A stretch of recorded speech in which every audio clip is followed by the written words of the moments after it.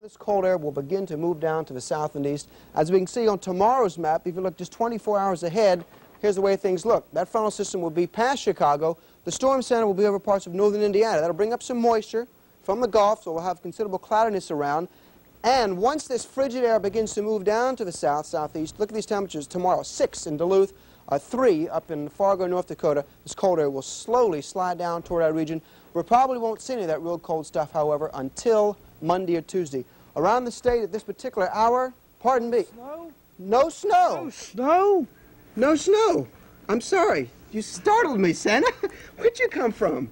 Oh, mercy. Santa, I know you've got a lot to do, so I'm sorry there is no snow around the region, but you're going to have to settle for some Uh, showers. Rudolph will make out some kind of way, you know. I'm sorry, Santa. Donner and Blitzen and... Santa, let me finish, okay? And I'll talk to you about who's been good and bad here. Yeah, okay. Okay, Santa, we've got around the state now, believe it or not, temperatures on the mild side. We've got 30s and 40s. 43, there is an inch of snow on the ground, Santa, in Oakland.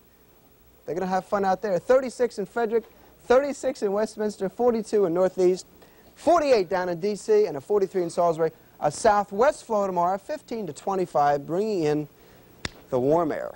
I'm sorry, Santa. Let's take a look at our forecast for the remainder of tonight. I'm afraid you're going to have some trouble getting here. You had no trouble getting here tonight, however.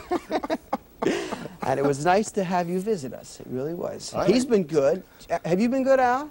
Well, I should hope. I'd hope you wouldn't slam the map in my face, for goodness sake. What's he to think of the rest of us? Uh, I don't know. did he We'll miss his cue or something? I, I No. maybe he did.